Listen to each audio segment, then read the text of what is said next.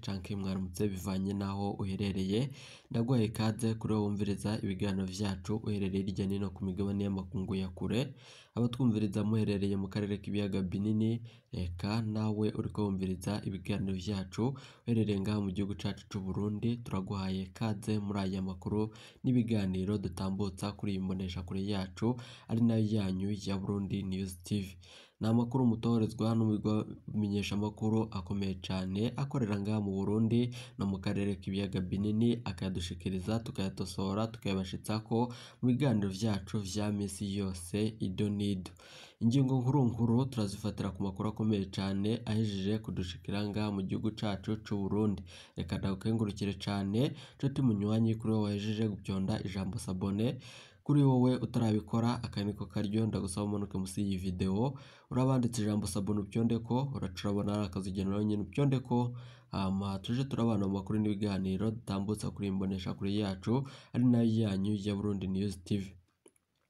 Turahejeje kuronka amakuru akomeye cyane mbere y'uko tuyabashitsa ko reka dutangurire ku makuru avugwa meza kandi mu gihugu cyacu cy'u Burundi indwi mu yize Robert Intwari atabaje abarundi bose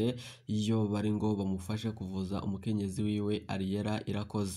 mwarumvirije iyi nkuru ikomeye cyane mu butumwa bwiwe Moise yaravuze ko ataco asigaranye mu gihe yari hakenewe amadolari ashika mirongo ibiri ni ukuvuga hafi imiliyoni mirongo inani z'amafaranga y'amarundi ikibazo ciwe cihuta cane kubera ingwara ya ariyere yaguma ikura mu mpejeje kuraba ku rubuga rwo gufashirizwaho uyu Biravugwa ko mu ndwi imwe gusa habonetse amadolari mirongo ibiri n'atanu n'ibice amajana ane na mirongo ine n'umunani yatanzwe n'abantu amajana atanu na mirongo ine n'atanu, abo wagizwe na cane cane n'Abarundi baba hanze y'u Burundi. Mu gihugu nayo nyene hariho benshi bariko baritanga, hari abakoze amagurupe ya WhatsApp yo gufasha Moyize na Ariel. hari abaciye kuri rumikashi, hari abagiye kumuraba baragira ico baterereye, abarundi muri Kenya nabo baguma babaza icyo bufasha.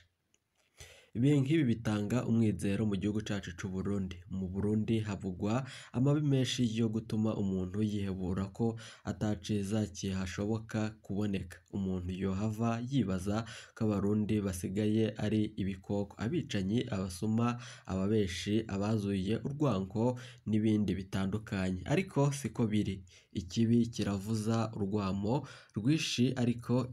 abagikora ni bo bake, abarundi benshi b'umutima barinumira, abarundi barakundana ndamaze kubibona cyane mu bihe byinshi dutabariza abantu hano kuri runo rubuga rwacu kuri imbonesha kure yacu imwe ndende ya Burundi News TV abarundi bo mu moko yose barahaguruka bagatabara mwene wabo nk'umuvukanyi mpora mbona abantu benshi bitwararika umuntu batazi n'uko asa banyandikira ngo bambaza ingene bofasha narabonye kandi ingene abarundi benshi banezererwa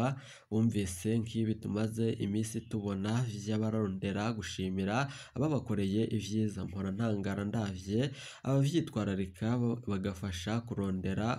uwugira ashimirwe kandi atanyungu n'imwe babifisemo bagenzi abarundi ni abantu beza birakomeye cyane mu Burundi biriko biravugwa tuze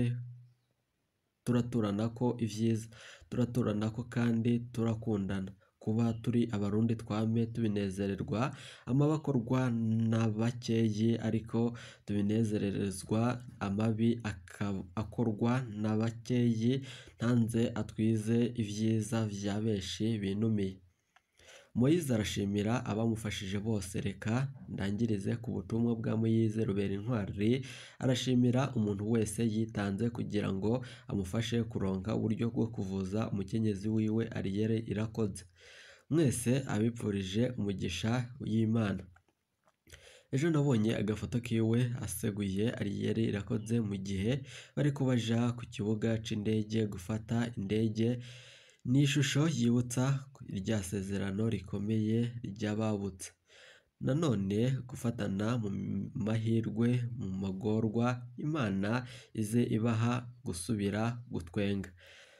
Mu Burundi turafise amahoro ariko nanone hari bamwe bibonekeza mu mabi akomeye cyane Reka tubanze tubashitse ko inkuru ikomeye cane nanone ihejeje kudushikira ariko reka nabakengurukiye cyane inshuti banywanyi muri ko murumviriza ibiganiro n'amakuru dutambutsa kuri imbonesha kure yacu ndabakengurukiye cyane abahejeje gufasha uyu muvukanyi wacu mu gihugu cyacu cy'u Burundi nubwo hari benshi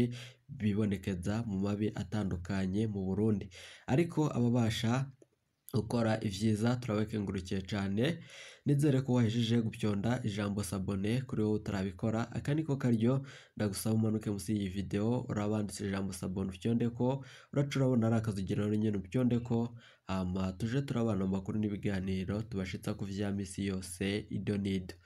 nayo Cibitoke abanyeshuri batandatu bo ku mashuri mato mato barakomeretse amazu arenga amajana atandatu aranonekara kubera imvura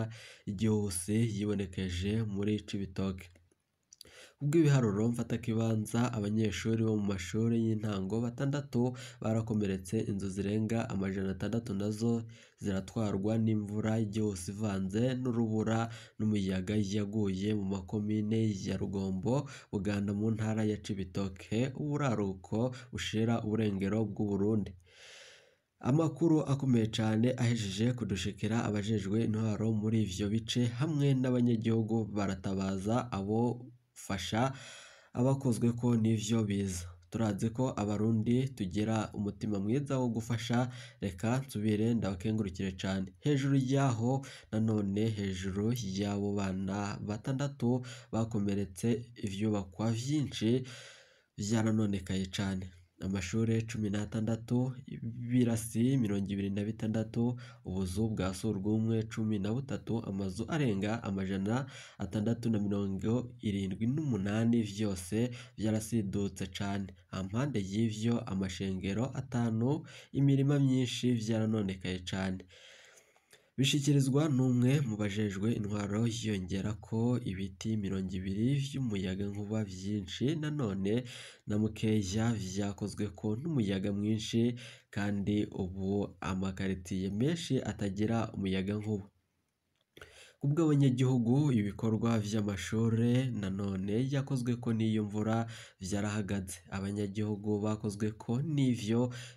biza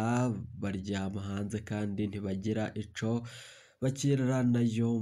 bamira nanone imbere y'ayo mabi abategetsi basaba abashoboye gufasha kuza gufasha abari mu byago. umurwi ujeje gukinga no gutabara mu bihe vyibiza ntizibe uvuga ko uri guharura ibyanonekaye kugira ngo hamenyekane urutonde ntabakuka nanone rw'ibyononekaye ruzokwerekwa abagiraneza imbere yo kumenyesha ko ibyo nkenerwa by'ibipfungurwa n'ibyo kwipfuka hatibagiwe ibikoresho vyo mu nzu n'amabati vyihutirwa. Uwo murwi usaba abanyagihugu gushira imbere umugenzo wo gufashanya mu ntumbero yo kugarukira ku bari mu kangaratete. Amakuru akomeye cyane ahejeje kudushikira ngaha mu gihugu cyacu cy'u Burundi nanone biravugwa ko Burundi leta y'u Burundi byayinaniye gukora imigambi imwe imwe y'iterambere bivugwa na OMI kuri uyu wa gatanu. Nanone umuhuzabikorwa w'imfatakibanza wa ONU mu Burundi yaratanze ikiganiro vyaranguwe n'ibisata bitandukanye bikurikira oni mu Burundi Abudi ngo yemeje ko leta y'u Burundi iri mu bushobozi buke bwo gukora imigambi myinshi y'iterambere kubera kubura uburyo aranegura imishahara mibi mibi umukuru w'inama nkenguzamateka yemeza ati turafise ikibazo gikomeye cy’ubushobozi buke ubwa budidi ngo hari imigambi y'iterambere yatanguwe uburyo na oni itariko irakorwa canke ishirwe mu ngero ubu leta itubwira iti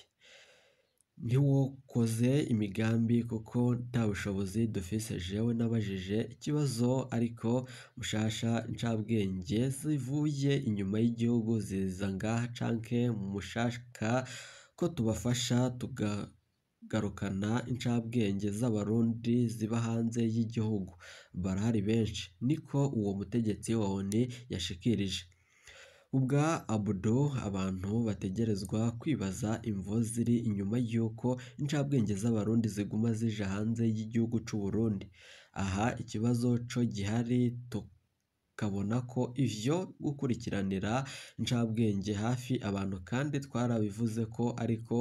hadatorewe umuti ikibazo c'imishahara mu gihugu cy’u Burundi ndafise ubwoba ko nabo tuzoba dufise mu gihe gito bazoduca mu myanya y'intoki niko yabandanije uwo muhuzabikorwa w'imfatakibanza wa ONU mu Burundi arabandanya avuga ko nuko incabwenge nyinshi z'abarundi zitagaruka gukorera igihugu cyazo mu gihe abandi bariko barakoresha ubumenyi bwazo hariho abantu bigishijwe n'u Burundi jewe nkorera ONU nakoze mu gihugu c'u Burundi nakoreye mu bihugu byose narahuye n'abarundi bashoboye cyane ariko bashobora gutaha icyo ni ikibazo turiko turavugana na leta y'u Burundi ariko iyo kandi itegerezwa kutubwira ibisata ikenewemo abantu ariko niko bishikirizwa n'uwo mukozi wa ONU abategetsi b'u Burundi baravyemeza Iyo myitwarariko userukira ONI mu Burundi ayisangiye n'abategetsi. Turafise ikibazo gikomeye cane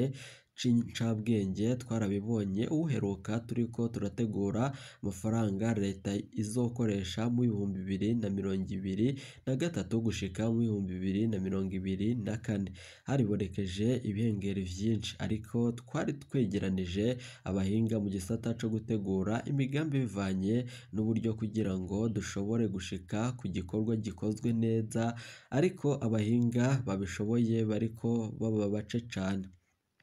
niko yatangaje munsi wa kabiri mu gihe umushikiranganji w'ikigega cya leta yariko arerekana ivyaranguwe mu mezi imbere y'inama nshingamateka andi makuru akomeye cyane nk'uko twabibabwiye ni amakuru ahejeje kudushikira kuri ubu ngubu habonetse umugwi mushasha mu ishyamba rya kibiri ibintu birahejeje gukomera cyane mu ishyamba ry'ikibiri ni nyuma y'uko